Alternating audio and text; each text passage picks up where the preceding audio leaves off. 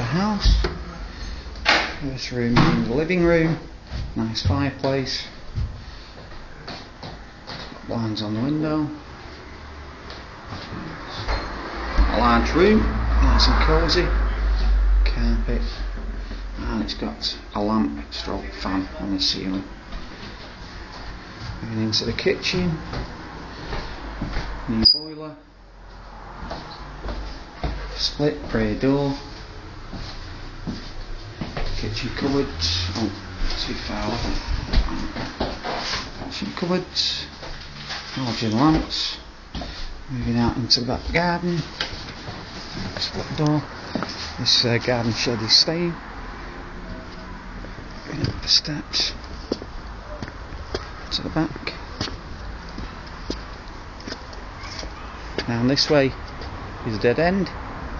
Down this way is where people take the uh, bins on a weekly collection basis. It's the outside view of the house. Right, moving down. And back up. Now we'll go upstairs. Gas meters at the back.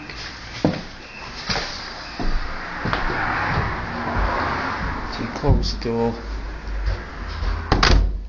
It's nice and quiet. The stairs. First room we'll come to is the landing. It's got new radiators on it and the bathroom obviously with a nice new mixer shower in there. Tile wall, splash screen, mirror, basin, nice toilet. Okay, heated towel rail. Moving on again, standard light bulb fitting.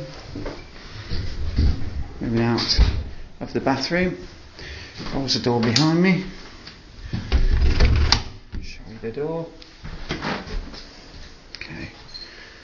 That's what it looks like from there. Moving on to the single bedroom. Okay, looks pretty dark at the moment. Turn the light on. Brightens it up a bit. Nice new radiator. Around. There's a nice storage area there in the corner. Moving on. Got built-in wardrobes. Just step back. Okay, so as you can see, there's wardrobe space in here as well.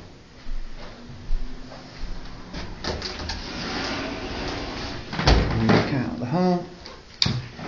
Nice landing window. Go on to the back. Okay. You're not overlooked, which is nice. Bring that down.